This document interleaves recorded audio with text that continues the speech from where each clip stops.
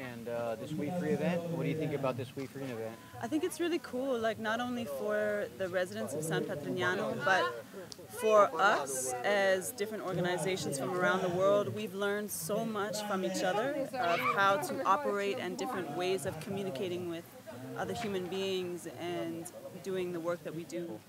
Uh, one thing that I, I, really realized while I was here is that we're here with so many different countries, people from different countries. There's so many languages. But when we start dancing, when the music is on and we just start ciphering and dancing, nobody needs to speak any sort of language. We are all speaking the same language, if that makes sense. And no matter where the person's from around the world, we all like we know the same steps, we know the same dance, we understand the rhythm, we interpret it the same, and we all become the same.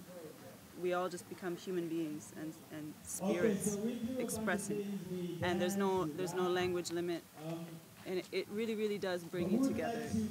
He says that the world should dance more. Yes, see, see, I would love that, you know.